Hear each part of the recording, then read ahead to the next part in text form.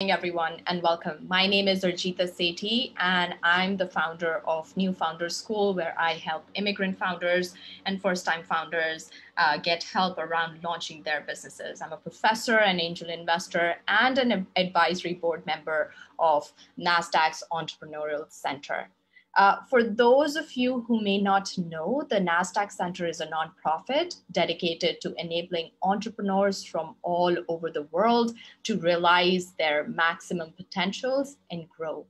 The NASDAQ Entrepreneurial Center, along with founding partner Mentor Cloud, launched a free mentor matching platform for entrepreneurs called Mentor Makers create your own advisory board to guide and inspire you with the in the moment mentorship from topic experts and professionals dedicated to providing exceptional mentorship to entrepreneurs across all races, industries, geographies.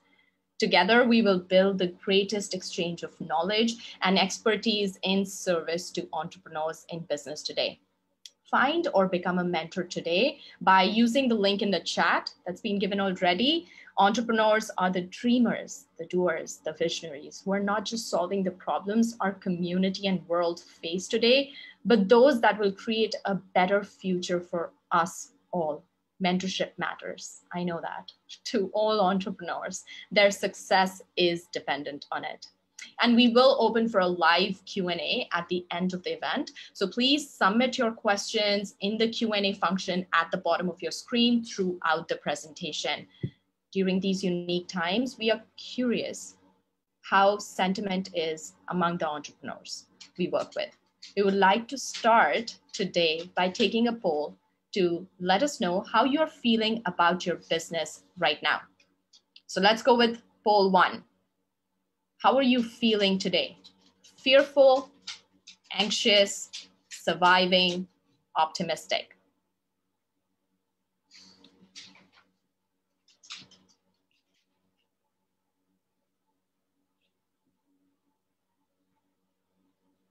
Fearful, anxious, surviving, optimistic.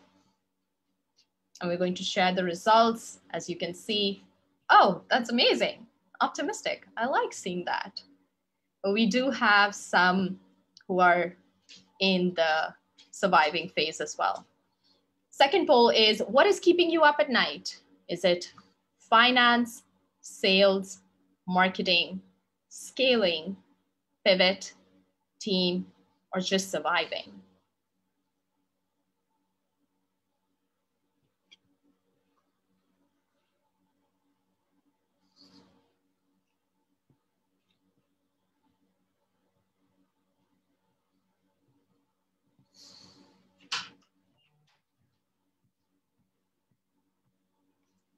Awesome, as you can see the results on the screen again,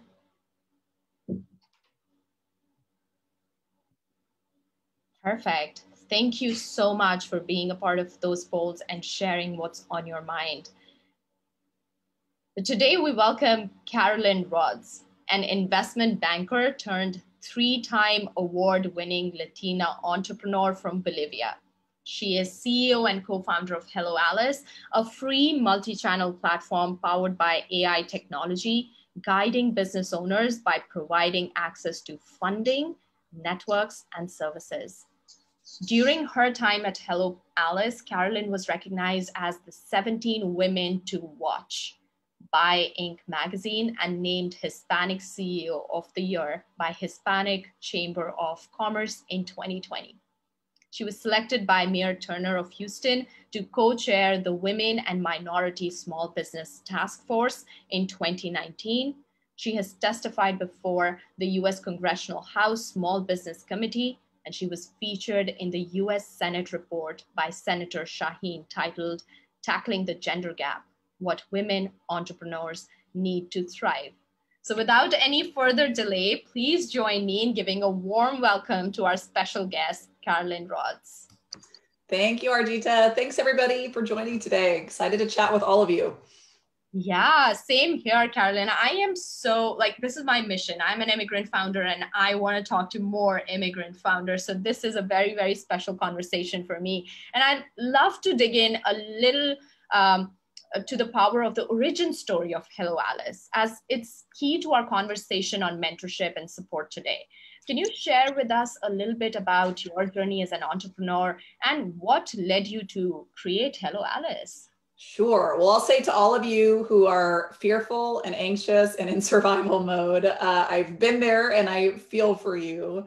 Uh, and, and know that there is optimism on the other side. I, I, started my first business over 15 years ago after leaving a career in investment banking, uh, where I worked at JP Morgan in their M&A group. I really I jumped into entrepreneurship quite blind, to be honest. My father was an entrepreneur, my grandparents were entrepreneurs, um, but it's very different when you're doing it yourself. And so I started a company in the retail space, ended up closing that after two years, and uh, frankly had a really really tough time. I was broke at that point. I'd spent all my lovely bonuses from my investment banking days on this business. I always call it my unofficial mba because i spent as much as an ivy league education and, and learned a lot. Uh, so i started my second business really convinced that my, i wasn't going to let my entrepreneurial journey end with failure because I, I looked everywhere and i saw all these companies that were thriving around me mm-hmm. and wondered what I had done wrong. And so I spent some time just studying and learning the landscape. And when we talk about mentorship, mm-hmm. that was my objective was I wanted to learn from everybody around me mm-hmm. uh, of what, what was the secret to this success. And so I started a second company in the digital media space that I ultimately sold after seven years and decided I was going to give back and kind of share a lot of the things that I'd learned along the way uh, and so I started informally with some mentorship, more formally as I realized that needed to scale a little bit into a virtual accelerator for women and people of color. That quickly became the fastest growing uh, accelerator for those demographics. And it, we still couldn't get enough scale. And so I was like, all right, how do we step back and actually serve millions of entrepreneurs?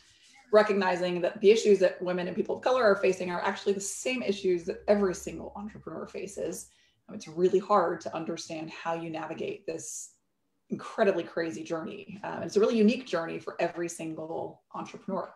Right. And so that was the, the impetus for starting Hello Alice. Oh my God. I, there are so many questions in my mind right now. Like I, I could literally pick threads and, and there's so much similarity, the things that you talked about, you know, uh, your savings and going, going forward and, and this, pseudo MBA that we all founders do through this process, which is way more expensive. I love that. Thank you for sharing that, Carolyn. Um, today is also the Equal Pay Day, which is not just a day for women to come together and share their ideas for the change we deserve, but an opportunity for men to step up and advocate for women as well. Um, and, and I wanted to know from you, Carolyn, how can men demonstrate their support if you have any ideas there? I think men are critical when we talk about equality. Um, we have to to bring everybody to the table, and I, am very fortunate. I will say, um, I've certainly had my fair share of conversations where you sort of roll your eyes and throw your hands up in the air and say, "What the heck is going on in this world?" Uh, but we have a lot of men that have stood behind Hello Alice. I know we wouldn't be here as a company if it weren't for people like John Sheena from Silicon Valley Bank or Zoff Vet, who sits on our board. Um, you know, both of who really made a bet on us and our business in the early days. Um, the reality is, particularly when you're looking at investment capital, it is predominantly male, um, and and it takes people to step up and advocate for you inside those circles so that you can start to break into them. Um, right. So I'm very very grateful. I think men you know, you know, at the end of the day, look, I, I, honestly find most people want to see people succeed in entrepreneurship. It's the American dream. It's what this country was based on. It's hard to look at a small business owner and say, you know, I really hope they fail. Not that many people do that. Uh, and, and so I think going into it with the mindset of, look, people, you know, they might not advocate for you, but they don't want to see you fail. And so raising your hand and making the ask is much easier when you sort of recognize that you know the worst you're going to get is a no. And it's really going to be a no because they're not willing to put the time and effort forth forth to help you succeed. It's not a no because they don't believe in you or they don't want you to succeed exactly i, I love that perspective um, 90% of the people on my cap table are men and they've really been my allies too so yeah, thank you for sharing that. I want to go back to the mentorship and, and that piece that you shared in the origin story of Hello Alice. And, and mentorship is at the heart of the center's mission as well. So this is something very critical for us. who are some of your mentors and how did they change the trajectory of your entrepreneurial journey? You know, it's funny when I first started in my career, I remember I, showed up at JP Morgan and my managing director was like, You need, uh, you're the only woman on the team. And she was the only female in senior leadership. And she was like, You need a mentor. If you're going to navigate this corporation, you need a mentor you need a female mentor. And there's none in this group except for me, and I don't have time, but I'm going to hook you up with someone across. And it was, you know 20 departments away in a different building far away and it was a very formal mentorship program. I remember feeling so uncomfortable because i really had no personal connection with this woman who was in a totally different stage of life. We had nothing in common other than the fact that we were women and it sort of felt like this very corporate like we're going to put you in a room and you know it's like when somebody tells you like oh like you're gay and that person's gay and you you should be together like it's like there's really like there's a lot of gay people out there. It doesn't necessarily mean that they need to be together just because. Uh, it felt like that. And so I, I really, um, I would say I went in a little bit skeptical to the idea of mentorship early on in my career because of that. Lovely woman, she was great, she was very helpful, but just wasn't, you know, again, there wasn't a whole lot of value that either of us could add to one another. Fast forward, I think as you know, I, the way I look at mentorship today is entirely around it's all of the relationships that you're building, right? You're building this network of people that can support and that you can support um, and it's just relationship building at the end of the day, right? I mean, my greatest mentors, it, they're so varied. I just got off the phone earlier today with um, someone who I'd met through uh, the LBAN program that I did at Stanford for Hispanic entrepreneurs, who is a CFO. We're now hiring a CFO. And I called him and was like, look, I really want to dig into the role. How are you hired? What's compelling in the marketplace? How do I find the very best talent? and he gave me so much good advice. I mean, the fact that our, our 45 minute call, we're like, we need a part two because there's so much that he could download to me. So I think it's finding, you know, who is the best person to give you the greatest perspective on what you're trying to solve for. And that can come from anywhere. I've had mentors that are entrepreneurs that are frankly far earlier in their journey, but they know a specific segment or they operate in a specific market and they can help me a lot. And vice versa, I can offer something to them. And so I, again, I, I really look at mentorship as it's it's building relationships yeah. and valuing um, each of those relationships for what what they can bring to, to both parties. Yeah, that's that's very interesting that you are sharing that even now in your business, you look for that mentorship, you look for that network as well. And and uh, that's a perfect segue to my next question, which is at what stage of starting your entrepreneurial journey do you think, Carolyn, is is uh, it crucial to find a mentor, to get a mentor. And, and to all these founders who are listening, maybe it'll be a great inspiration for them as well to understand if they're at the right stage to get that mentorship. Uh, you're always at the right stage. I think no matter where you are in life, even if you haven't started your company yet, uh, you're at the right stage. I talked about my first company failing, and I honestly, the, the biggest learning that I took away from that was that I didn't ask for help. I came from investment banking. I felt like everything had to be polished and big and perfect before I could go raise my hand and ask for help. And so I kept waiting. I had this amazing network. I worked with you know billion dollar CEOs across my career, yet I didn't make the phone call to say, "Hey, I'm starting a business. I would love your advice." And I always like kick myself for that because I'm like, God, if I had just asked them, I'm sure they would have saved me, frankly, tens of thousands of dollars, hundreds of hours of time. Um, you know, the silver lining is I probably wouldn't have started the business I started today, uh, which I love and I'm so grateful for. So I guess everything happens for a reason. But um, at every stage, I think mentorship is is critical. But I think it evolves over time. I mean, in my early days, Elizabeth, my co-founder, and I had a group of four women, and we would get on the phone once a week, and it was really all about accountability. And we were mentoring each other through you know these very early stage decisions about starting our business and what our value proposition was and how to get our website up and these really you know very significant decisions at the time but things that now i look back and i'm like okay could, it's sort of second nature to us yeah. uh, it, it evolved i think that group i mean we all kind of went off in our own directions and we're still friends but we don't need the weekly conversation anymore yeah. now it is it's very specific needs that i have so i mentioned my my friend who's a cfo um, that I picked the phone up and called, or you know, we're in the middle of closing out our Series B, and so it's it's talking to people who have been through that path and have really scaled up. You know, we're doubling the size of our team over the next six months, and so it's you know, I am calling everyone. I'm like, okay, we're going through this journey. Like, let's talk about talent acquisition. And I want to hear what were the big obstacles that you hit when you reached 100 employees. um, so that I'm starting to think ahead at, at what are the obstacles that we are going to hit. Yeah, yeah. I, I, I love the thread that you're connecting. Mentorship is actually, you know, it, it could even be through your peers and through your own network as well. It's not just an expert in the field, which is amazing. And you shared this a little bit, uh, Carolyn, about I wish I would have asked for help. I, I was around and surrounded by these brilliant CEOs and successful people. What are the things that you would you would share with the founders so that they can learn from your experience? What are the things that you wish you would have known in addition to asking for help before or while starting out Hello Alice? I think the one of the greatest lessons I've learned has been from my co-founder Elizabeth, uh, and we're we're really different. I love. I'm a very like detail oriented, behind the scenes. I love building product. I love creating and and just sort of envisioning. I'm my, I live my life like a year ahead in every aspect. Elizabeth is an incredible relationship builder, and for her, everything is sort of speed and urgency and making sure you're you're capitalizing on the window of opportunity that you have right in front of you. And so we're a brilliant sort of push and pull for each other on, on both of those uh, aspects. But with what I learned from her was the way that she was dealing with people because people love Elizabeth. She has this very magnetic personality. She she brings people in early and often, but she follows up. She's very specific about what her ask is. So she will call somebody and say, "Look, I need X, Y, and Z. Can you help me?"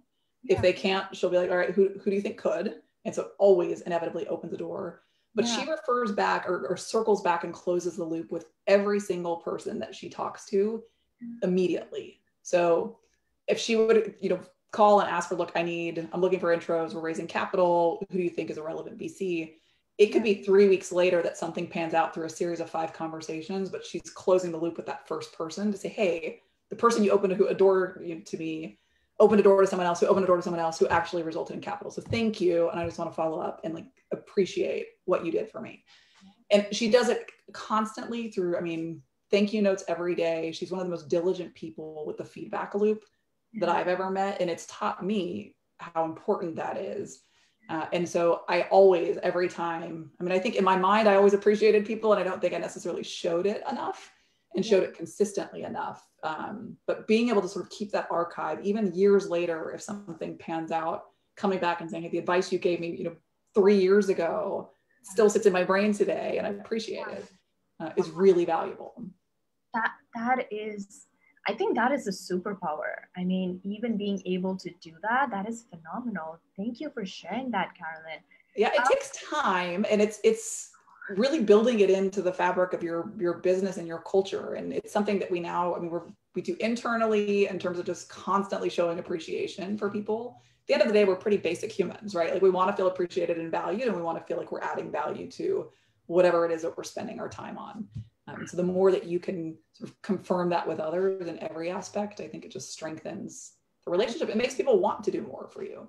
Yeah yeah. And and and, and this is constantly telling me about you know how do you go ahead and build that network on top of the existing or the or even if you have a smaller network in your life and you're new into this field how do you actually build that and, and get support from that constantly? So uh, carolyn what do you what do you think where does an entrepreneur who may or may not have a traditional network like find mentors and start doing this uh, entire uh, thing of reaching out to them, asking for help, and then probably thanking them for the connections they were able to make. How, how do we even get started?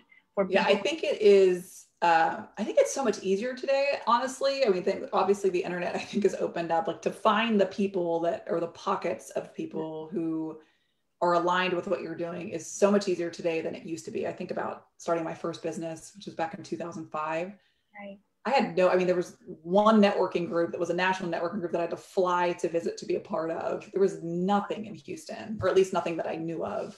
Now, you know, you Google how to start a business in Houston, and there's like or accelerators and organizations and all these pockets that are that exist to connect with. So the first thing I think is going and joining those groups. It is worth spending the time and carving out probably 25, 25% of your time at least yeah. on building a network in your space and getting to know either the small business or startup ecosystem, depending on kind of which bucket you fall more into, really getting to know those groups mm-hmm. uh, and adding value to them. So get involved in committees, volunteer your time, give the effort uh, because it'll start to pull and open more doors. And I still, I mean, I still spend a lot of time mentoring because I find that it just opens up a lot of doors and I learn about things and I'm in circles and connecting with people that I had no idea yeah. existed. Um, yeah. So that's that's one piece. I think the second is being very very specific in your asks. Yeah. I get so many people that reach out and they're like, "Hey, I'm you know, starting a business. I would love your advice." I'm like, my my advice is all over the place. Like I've said it a million times. It's great. It's like very generic advice. I can shoot you an email and like bullet point it out for you. Right. I think what's where I find I can be most helpful is somebody coming and saying, look, I got, you know, uh, whatever, I'm thinking about making this hire and I'm between these two people and I'm kind of torn on which one should I hire, you know, here's the resumes, which one do you think might be more relevant for this position? When it's something really specific that you can give a response on, it's a lot easier to jump in and help and frankly use time really efficiently versus the very general abstract help me build a business. I can't help a million people build a business but I can answer questions, you know, very quickly and all day long. And I think it adds more value yeah. to the owner. And it also shows that they're putting in the time to be like, what do they think I can be helpful with? I can't help with everything, uh, but I do have expertise in certain areas, and people have taken the time to learn that. Yeah. It automatically makes me want to support them. Absolutely. And I, I love when you said it's much easier right now to just find things online and figure out what you need help with and then go for the people that you need to you know ask help from. So the first thing is that clarity what do i need? And why is this person the right mentor? Or why should i ask them for help? So that is such such an important advice. Um, Carolyn, what are the two or three actionable pieces of advice you would pass on to entrepreneurs? Uh, they, I'm, I'm sure the entrepreneurs are at different stages in this call, but what would be those actionable advice that you have learned as a Latina female founder and you would like to pass it on to other female founders that are thinking or scaling or growing their businesses?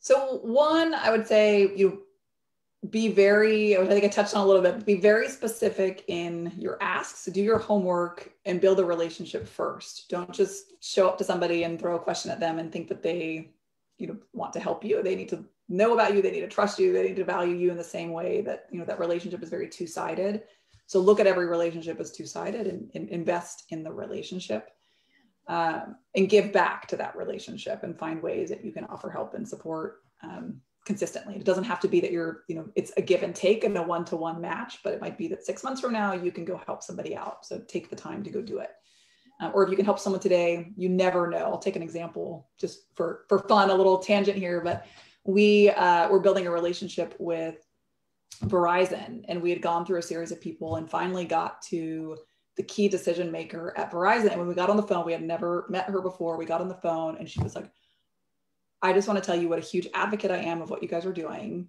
She's like, You actually agreed to mentor me years ago uh, in a different career. Elizabeth and I hadn't even started Hello Alice yet. And Elizabeth had helped her in this mentorship thing. She's like, I just want to tell you that you helped me so much uh, I reached out cold and you spent some time with me. And I don't even know if you remember, but it made the biggest difference to me in my career. So now fast forward, this woman is making the decision for, you know, a million dollar contract with us. And who would have ever thought? Like it was just such a random, you know, coincidence. But I think those situations, it's not the only time we've seen that. There's a lot of situations where we've just invested heavily into a relationship and it hasn't panned out for years. We saw that a ton during the pandemic. We had been nurturing relationships, giving content, supporting a lot of these corporations. Wow. The pandemic hit, every corporation was like scrambling to figure out how to support small business. And they all came to us because we had been there, not asking for anything, just supporting and, and being there when, when they needed us. Yeah. So I think that's a, a huge piece is it's don't think about the give and take, really think about the big picture of just being kind and giving. And I, I do truly believe that comes back. Um, and then the other last piece of advice I'll say is focus. It is particularly for those of you who you know, are building companies that are where there's a lot of opportunity out there. I find there's sort of two buckets. Either you're trying to like plug a square, square peg into a round hole and it's not fitting, in which case I'd say open your eyes up and really be objective about are you on the right track or not? And if you're not, get on the right track or make some big changes. If you are on the right track, there's probably a lot of opportunities opening up to you and you have to stay very focused. Um, so really, you know, you should never be working on more than three things at a time for your company, particularly as a small business. So knock those out, do them very well, test them, either reinvest more into those or, or pick up some new um, new focus areas. But you can't boil the ocean, and it's probably the one lesson I tell myself the most because I'm always be like, we can do this, and there's this opportunity, and let's go build this. But really staying focused and having a team that's going to hold you accountable for that or mentors. That is such good advice. And and I'm going to ask a very difficult question now, Caroline. What is what is the one time uh, that you took a huge risk and it paid off? And this is something you know I keep thinking as an entrepreneur as well, and and a lot of entrepreneurs ask. So I'm I'm hoping uh, your story is going to. It's 12 o'clock. Oops. Your story is going to actually inspire other founders as well. That huge risk and it really paid off. I would say the biggest risk for me always has been hiring. I'm a really, you know, I've like I've had a business that's failed and it's closed and I've run out of money. And so I'm very conservative when it comes to spend.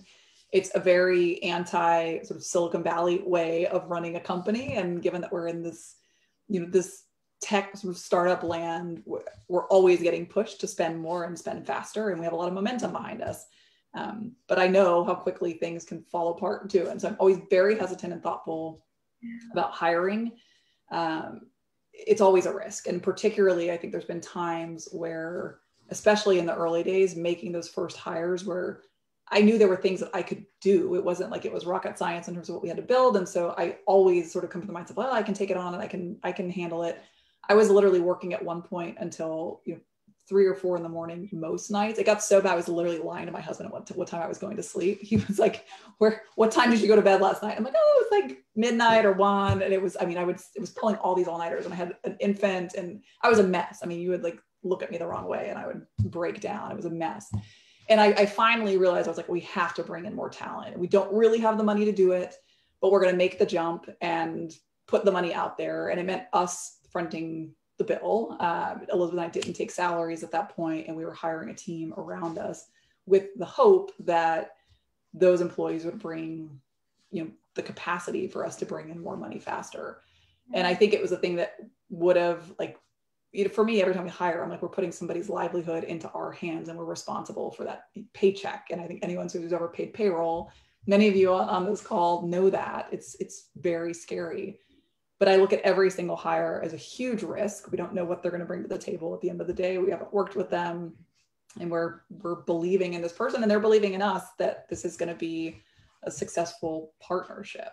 Um, but it's we'll say it's paid off in spades. We haven't made 100% of the correct hires, and I would say some of our past employees would probably agree. we haven't made 100% right, um, but they. But I do think it is. It's a really important decision and one that should never be taken lightly uh, on either side. And I think as an employee, I look back, you know, when I was an employee, I'm like, I wish I would have understood what a huge bet uh, my employer was taking on me too. Yeah, yeah, absolutely. And and I think these early decisions, you can only see whether they paid off or not in retrospect you just don't know as you're making these decisions at that time.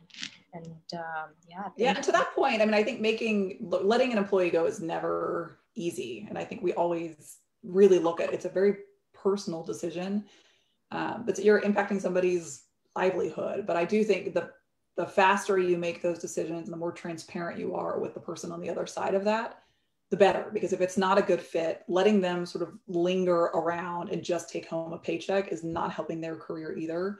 And i do truly believe i will say even for the employees that we've had to let go they all are incredibly talented. It might not have been a good fit for our company but i've never had a doubt that there is a lot of value they can add to the table somewhere else. Um, so i think it's it's better to sort of let them go too and, and really looking at like a better decision for for both. Yeah, yeah, absolutely.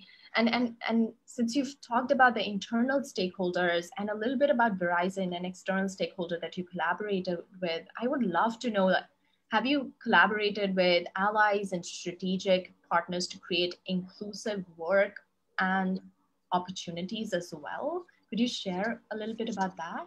Yeah, partnership is the core of our entire business model in all honesty. Uh, it, it started, I think, really just for being us trying to build awareness of what we were doing and starting to create that network. And it's become, uh, I think, probably our greatest differentiator in the market. We value every single relationship as very individual. And we try to personalize that experience in the same way that we do for our owners on the platform. We're really personalizing the entrepreneurial journey for them. We're trying to personalize the partnership journey for each entrepreneurship, but really doing that at scale. We have over 3,000 organizational partners that we work with at Hello Alice. Uh, and it's, it's each one, I think, brings something very unique to the table. And we're trying to kind of also bridge those relationships and support other partners in, in bringing things together and collaborating. So it's, you know, I, I think as anybody is building a company, figuring out who are the big players in their space, where does it make sense to jump in? Not even big players, who are the little players too. We work with everyone from the NAACP to you know the local you know, rural chamber of commerce in, in a region. And both give us great insights and frankly both bring us great opportunity in very different ways. So partnering with NASDAQ and, and the mentor makers has been amazing.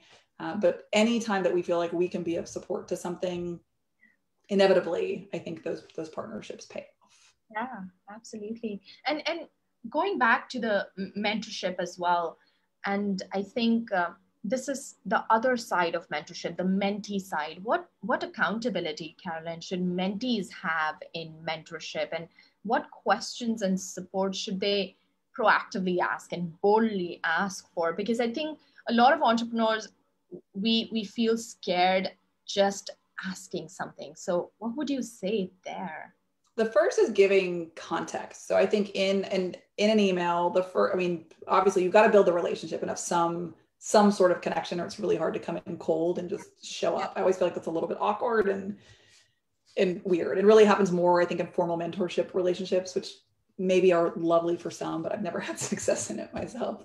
Uh, but I think showing up and giving context to what do you need? Like, what are you building? What are you excited about? You've got to build passion. Like, for, I think as entrepreneurs, we have this incredible passion for what we're building, inevitably, or we wouldn't commit our careers to it.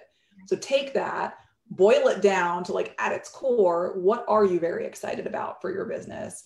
And share that um, and give that context. Then it's really taking that context and asking the questions that you need so that the person is jazzed up because you want them to get excited. And that's on the mentee. Like the only way you're going to get somebody excited about something is by actually genuinely being excited yourself.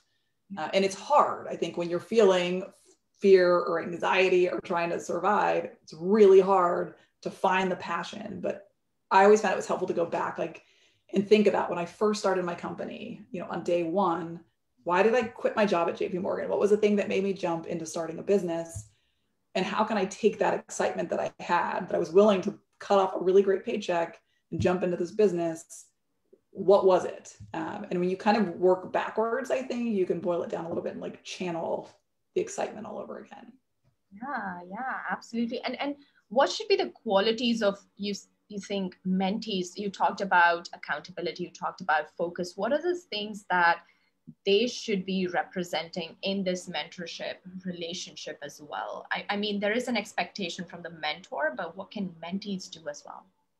Yeah, give. I mean, I think it's giving back, right? It's you know, we are always just again giving thanks and appreciation for the time that they spend, um, knowing that it's there isn't really an immediate direct benefit many times for them, but there are down the road. I had a mentor, um, a woman who started a really incredible company, and now works in private equity and has invested in amazing companies. She's been a great mentor to me, uh, Janet Gerwich, who called me the other day to say, Hey, I'm on a panel and I would love your insight because I think that what you bring to the table is going to offer me a lot of help.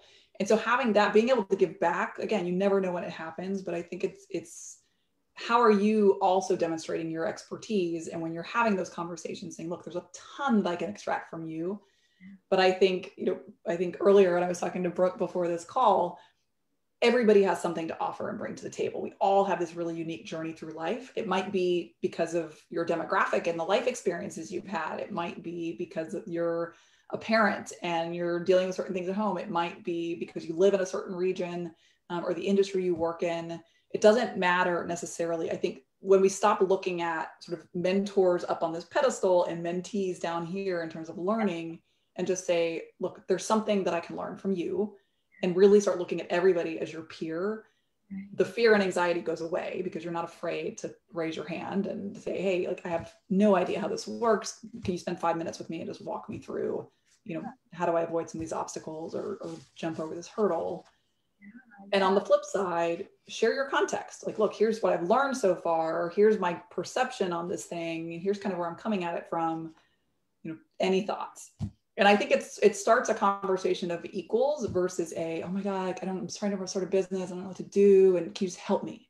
Like that's so overwhelming to somebody. I'm like, I don't, I don't know what to tell you. Like there's eight trillion things you need to be doing to grow your business but if we can narrow it down to a piece of it i can at least if i'm not the person can point you towards the right resource. Yeah. I, I, I love your aspect of giving back as well because just the other example that you shared at verizon the executive actually was now in a position to give back and do that. And this is somebody who got mentored by you. So it, it is that cycle which always would be there and keeps getting connected back to build this network, build it authentically, be accountable, and keep giving back, and it'll come back to you. Well, and I um, find too, you know, we work with a lot of, of Fortune 500 organizations, and it's amazing to me. Uh, and I'll use uh, Ajay Banga at Mastercard. Mastercard's an incredible partner of ours. Yeah. He is one of the most responsive humans. And you can imagine running a global enterprise like Mastercard uh, Arjita Gilliland because he's a wonderful Indian too. so, uh, but but running this global enterprise and the fact that he responds within you know 24 hours to an email from us and, and really supports the partnership is so meaningful and valuable. And he's personally made introductions. And I think when you realize, I'm like, when someone like that has the time to do it, everybody has the time if they're if they're interested and if they believe in you. And so your job as a mentee is to give them enough evidence that yeah. you're someone worth believing in, right? That you're going to be responsive, that you're going to respect the relationships they open up to you, that you're going to respect and value their time. Uh, and that again just comes through conversation. Absolutely. Absolutely. And, and I know we have to move to a Q&A, but I do have one last question before we do that, Carolyn. Um, Hello Alice is known as the intelligent business advisor for entrepreneurs. How do you define business advisor and what advice do you have for entrepreneurs on uh, knowing how to ask for that advice? Is it different from mentorship? What are your thoughts? Yeah, our goal was look at every step of your journey, you're making a lot of decisions. You're figuring out which payroll provider do you want to use and, you know, is the lease agreement that you're looking at for your office space fair or not? Or what journey should you go down to try to get funding for your business? And there the answer is different for everybody. So we found everybody's asking the same questions. There's a pretty limited set of questions that we ask for our business but it's very different depending on where you live depending on who you are and the resources you have at your disposal depending on the stage of growth you're at and the industry you're operating in and ultimately what's important to you as an owner. And so we, you know, our job as a, as a technology or as a platform is to learn as much as we can about you in the same way in an offline conversation that we would, you know, ask these questions or try start to understand these questions and give a response. We're trying to aggregate all of this knowledge and say, okay, how do we extract everybody's expertise and knowledge, yeah. aggregate that, look at trend data so we can really start to let sort of best in class knowledge rise to the top and then take into account who you are and what we should be recommending. And I will say it will be my life's work because it's it's a never ending pool of information and it's always evolving and changing. Uh, but it's you know I think again when I look at the journey of entrepreneurship, it is so unique, and it's the reason we named our company Hello Alice is we always talk about the story of Alice in Wonderland that you're in this world that's totally new and foreign to you and you're you feel really big at times you feel really small at times you're dealing with the unknown at every turn. And we really see every entrepreneur as alice right? You're you took a leap of faith you're jumping down this thing you're trying to avoid these like crazy rabbit holes with your business.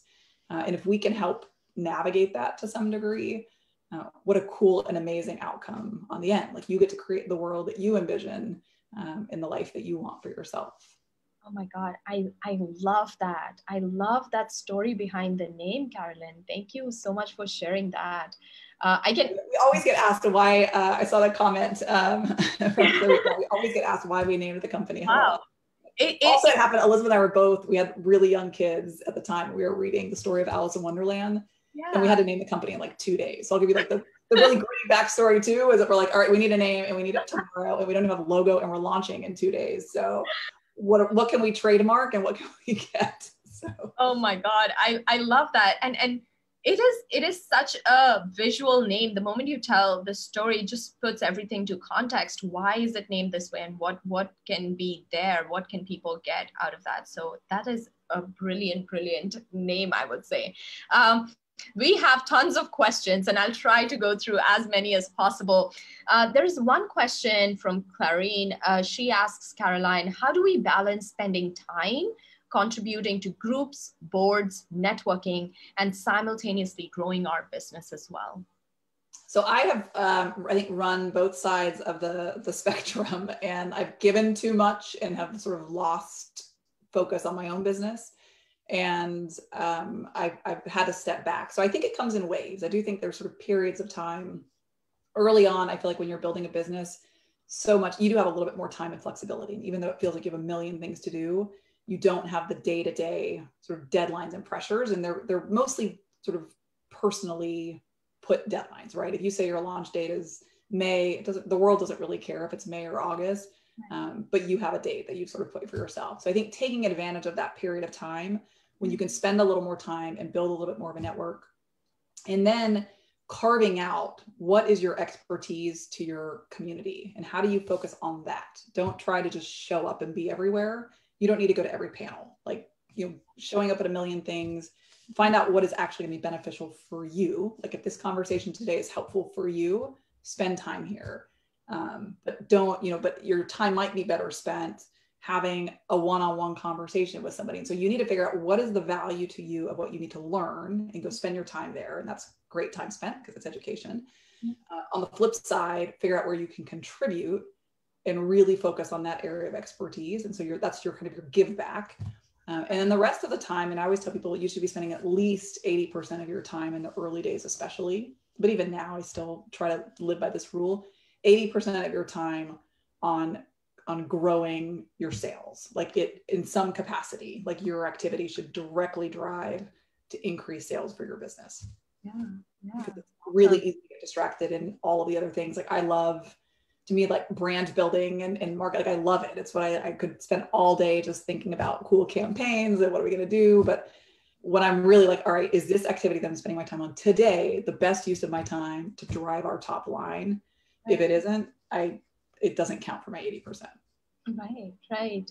And and uh, that makes so much of sense like the golden 80-20 rule and it it helps all the time. There's another question uh, carolyn where um, i the question the person is anonymous but they've said hi carolyn i'm in a position uh, you were when you spent two years on a startup that didn't work out i realized a strong network and mentors is something i would like to build along other skill sets uh, before starting my next company. I'm evaluating my options now. The main idea I have is to join a great company and go from there.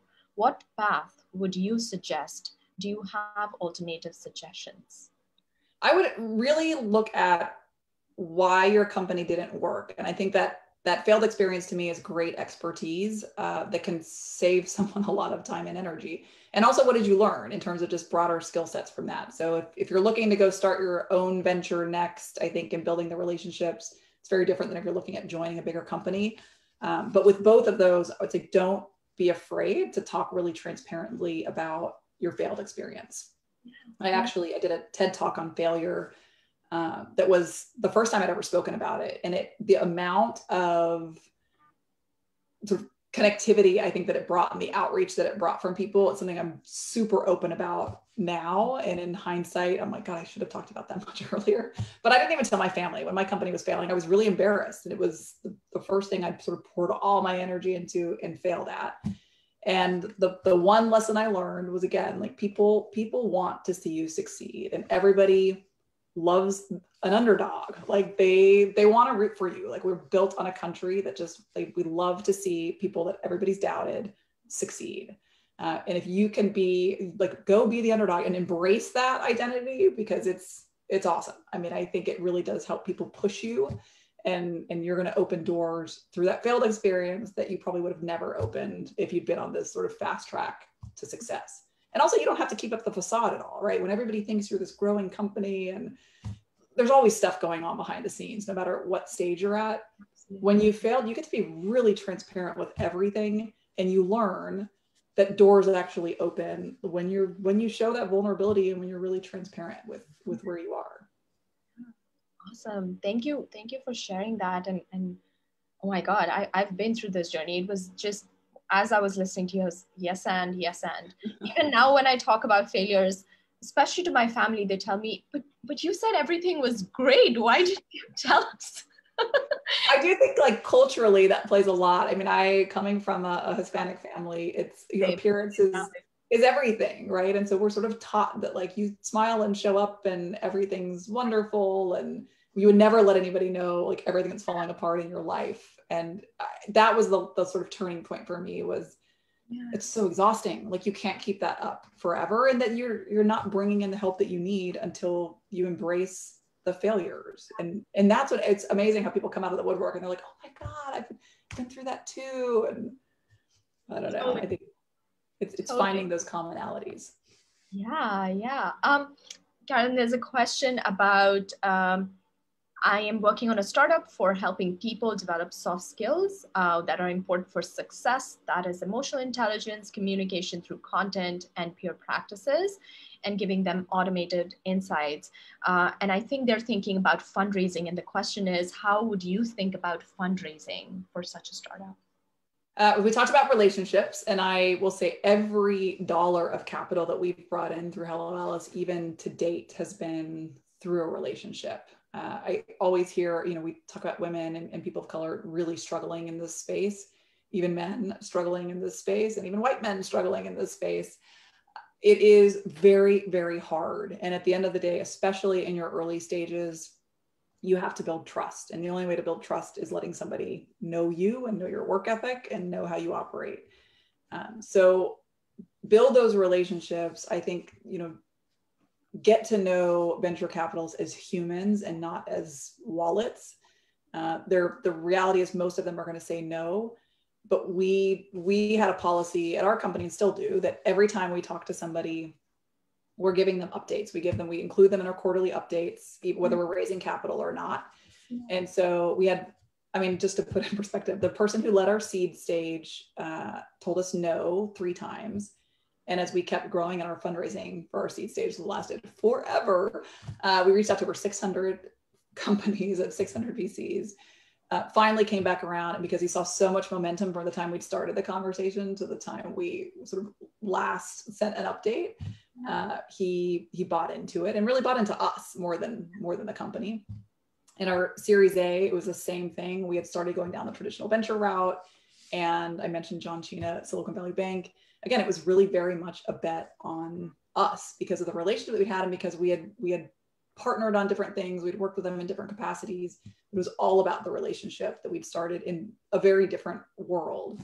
And so keep the updates coming and show people your traction. And if you say you're going to accomplish a goal, follow up and just say, even if they're not interested, be like, hey, just wanted to let you know, you know, we said we were going to grow 25% and look, we grew 20, we grew 30%. Or, you know, we we did this and we're stumbling a bit, but like this other area we're really thriving. And so we're going to put more you know, time and investment here.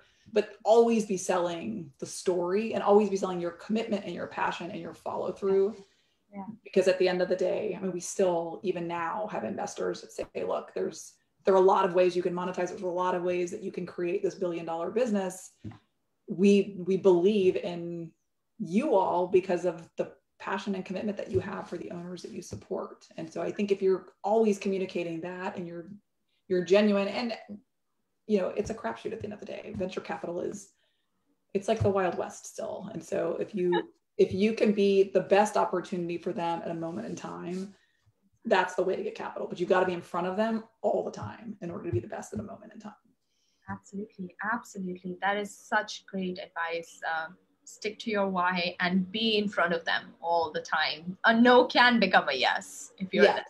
So. i mean we we laugh because we're we have even one of our investors on our v we came back and we were like all right we, we really think you should lead the round and here's why and they just they're like you guys are like the most persistent humans that we've ever seen and we are but we're you, you strip away the pride as not someone wants to describe raising funds as they're like, you know, it's like you have this beautiful baby that you're so proud of, yeah. and you show them to somebody and they just look at it and tell you all the ways that's the ugliest baby in the world.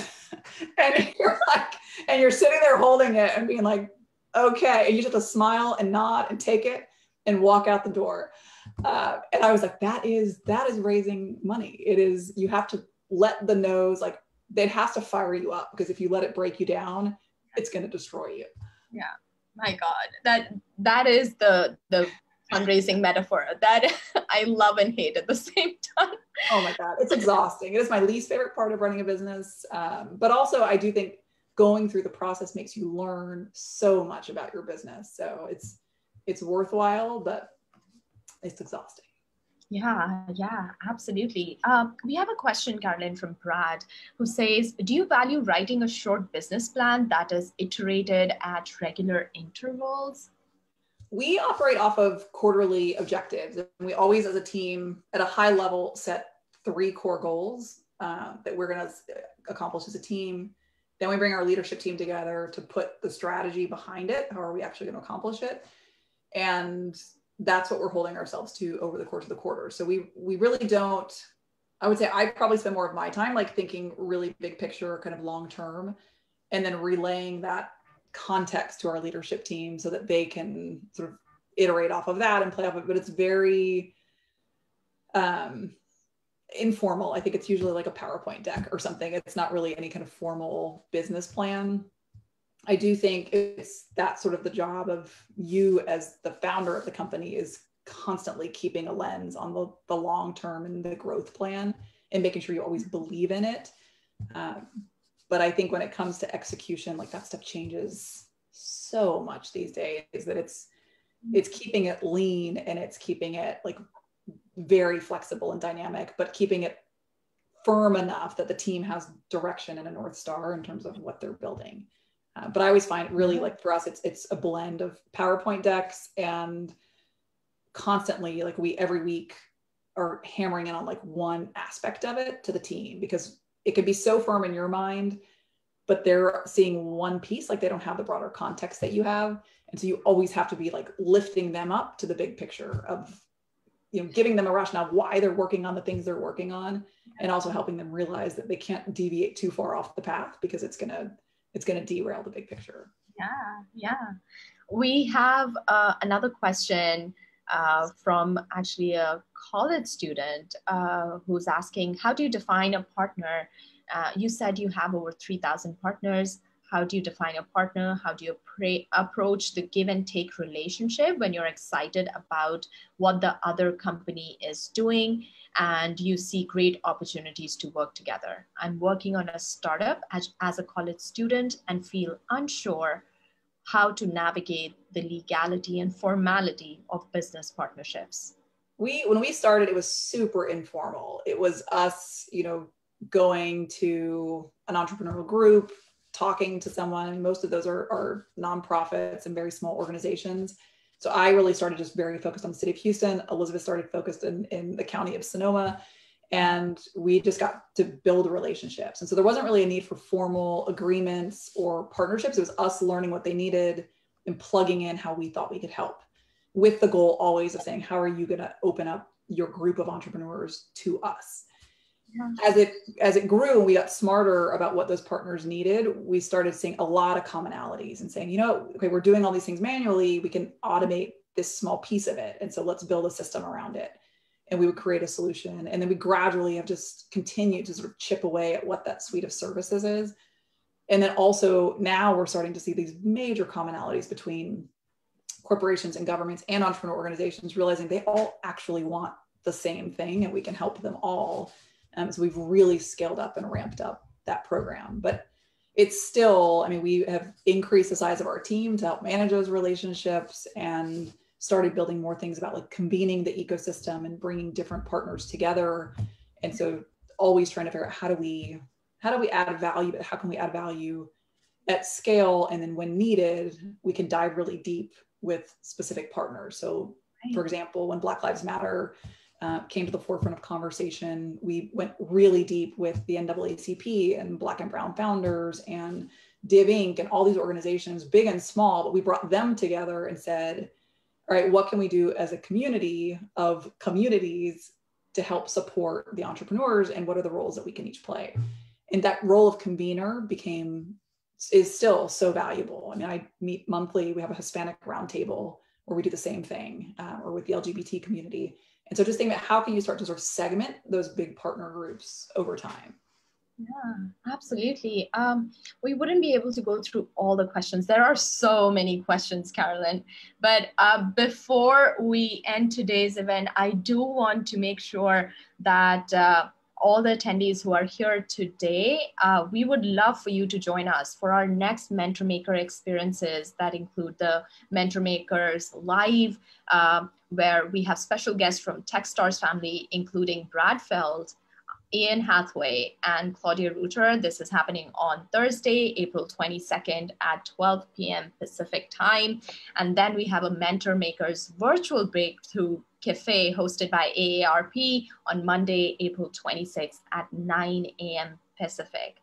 And uh, Thank you so much, Carolyn, for taking the time to speak to our community, sharing your insights, and being so candid and giving us such a such a great overview of everything that you're doing at Hello Alice and everything about your entrepreneurial journey on behalf of the NASDAQ's Entrepreneurial Center and everyone in attendance today. We sincerely thank you for joining us. Well, thank you. And thank you to, to NASDAQ. I think what y'all are doing and just making these matches and bringing people together is so valuable. Like I said, I think mentorship has played a huge piece of, of my journey, certainly. And Arjita, your questions were so wonderful. So thank you. Uh, but for all of those questions I didn't get to answer, if I can ever be of help, uh, all of you can find me. I, am every day over at the Hello Alice community. Uh, I'll put the link here in the in the chat. Um, but it's just helloalice.com. You can sign up for free, and and uh, we'd love to help support. And always are funneling people back over here because I think these mentor sessions are so valuable. Thank you. Thank you. Once again, Carolyn. Thanks, everybody.